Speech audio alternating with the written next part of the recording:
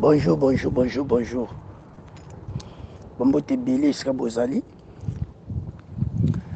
Natindeli bino ba ba poste ba role ya soldat moko na moko oyo oyo azokota na kati ya champ de bataille oyo et bazali euh, au nombre ya 300 personnes 300 postes eza wana et comme étant leader role na ngai ezali na organiser na organiser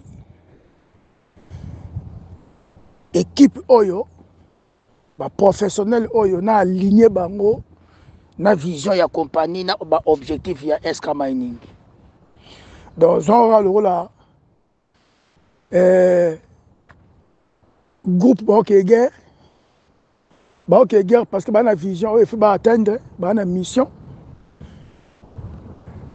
mission efi ozala accompli et puis baza na baobjectif alors soldat tout na kati ya molongo discipline en action discipline en action unité de commandement unité de direction tous les officiers na bagrade na bango na bapete na bango na barole na bango na baresponsabilité na bango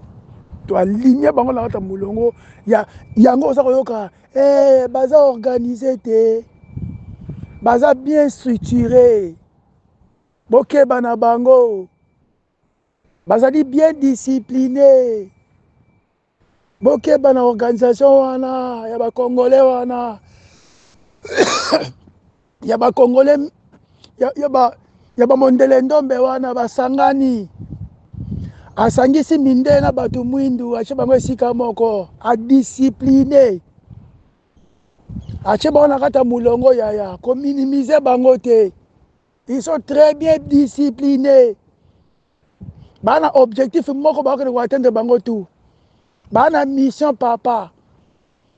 baza na baobjectif chacun na role na ye aza kojoue chacun na responsabilité aza kojoue moto na moto ayebi soki akoinforme nani soki akangami soki aza na problème akoconsulte nani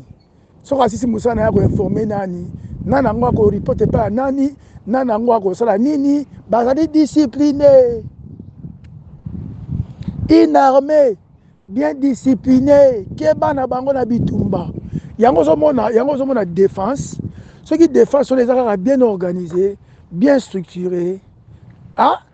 eh, c'est fini c'est fini c'est fini c'est fini parce que esalamaka ndenge wana yango omoni sikoyo na kati ya head count ya ressources humaines yango mona bimisi donc babiloko biloko oyo na tio ezali aza ko parce que ye azo faire partir mpe ya totalité ya budget ya investissement basalaire ya bato badepensement nyonso te kosalama na kati mpo toza na kati opération opération eza kaka bato te ndenge na, ndenge, ndenge na aligne bato boye je vous dis que na aligne je vous dis que nga shekina je suis général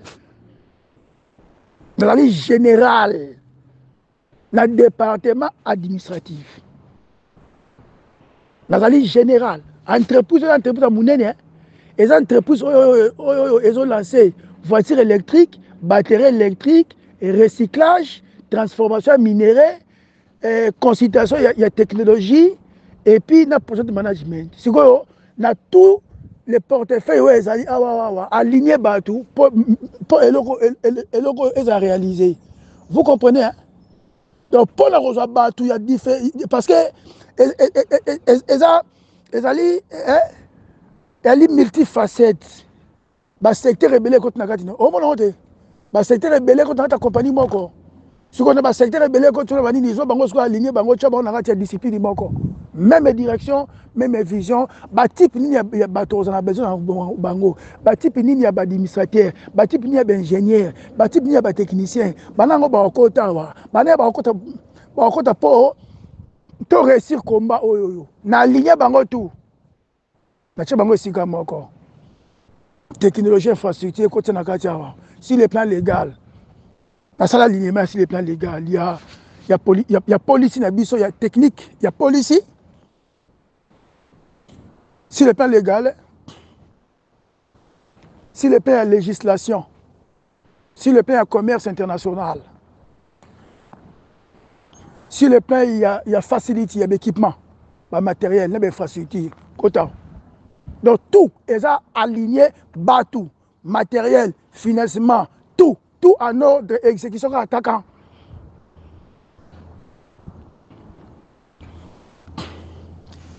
ezalaki un peu ce que j'avais voulu vous le dire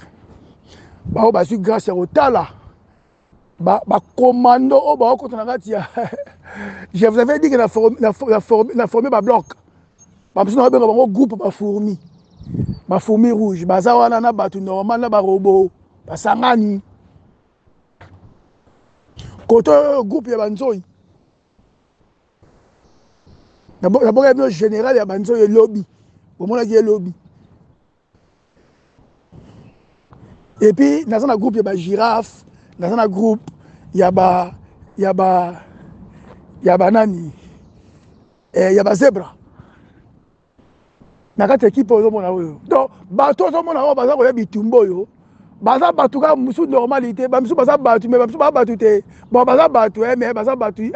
artificiel omona baza bato me baza bato ya, ya kibomoto oyo nzambe, nzambe asala te baza bato oyo bato oyo ya, ya, ya, ya mashini leni omona eh, donc eza, eza, eza, eza na sens wana mpo mpo bocomprendre ke nde makambo yango ezali ke makambo oyo tokokende kosala oyo oyo makambo oyo toza kosala oyo na kati ya eska mining oyo eza kaka bato bakosala yango te okomprendre donc toali bien équipe barobo na kati bamachine donc biso tout na discipline eh, place oyo leader azali ezalaka na discipline place oyo visionnaire azali ezalaka na discipline parce que esa mining eza pays na nga eza pays eza monde oyo nga nasala ya monde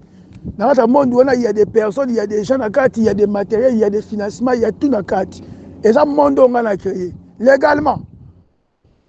mpo na baintérêt na biso mpo na baobjectif na biso nga na omanipulant oka mpo na leader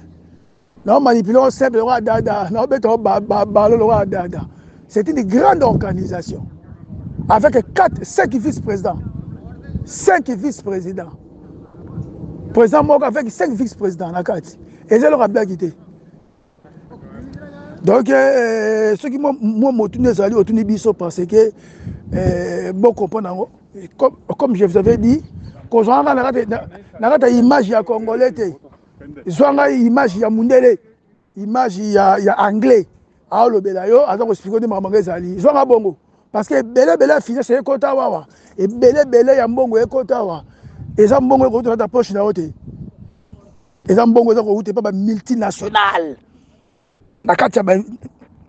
na kati ya bainstitution financière ya makasi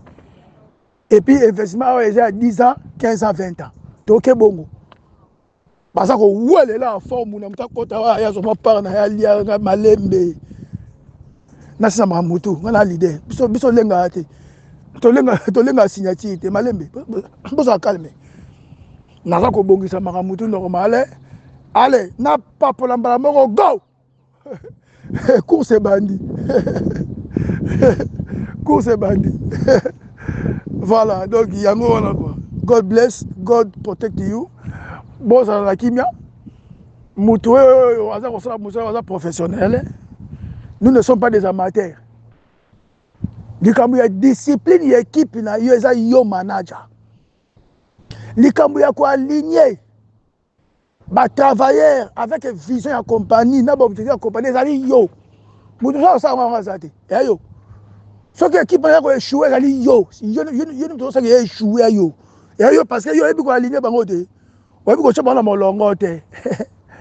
oyebi kotya bango ata molongo te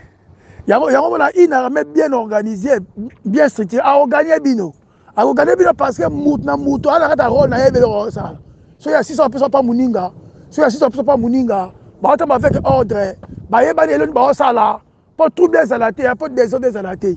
omona mpo trouble ezala loko bato maboma te kua eyebana te kife kua kife kua lu eza te baotamba lokola desordre eh, nayebisaki oyo oyo yasaki boye ye fasa boye tetetetetete na kati ya mosala tout le monde abengama loba loba te tout le monde abengami aloba aloba te yeba role na yo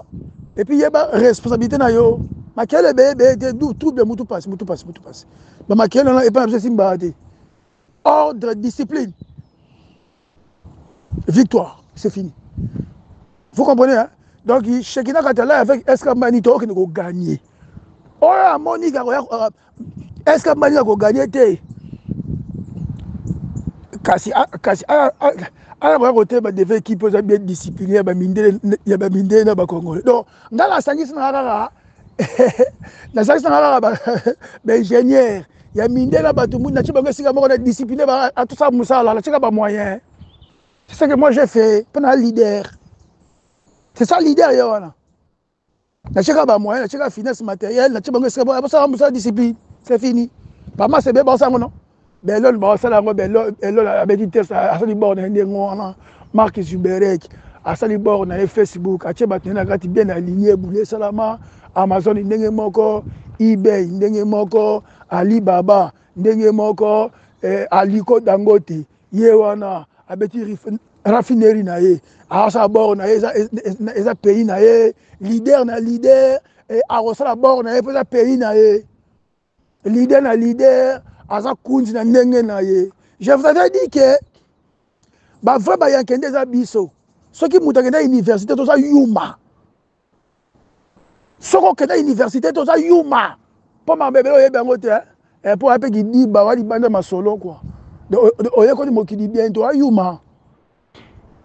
yanke yanke biso nde bayanke yanke eza kivoyou te yanke eza kiviolence te yanke yanke eza corruption te yanke yanke ya lokuta te yanke ya koboma bato te tetetete yanke ya koboma bato te o oh, oh, oh, wana o wana eya liboma bavrai bayanke eza bato bakenda université tuna tout le monde akoyebisa yo awa na kati ya poto un vrai yanke eza moto akenda uni Alleluia.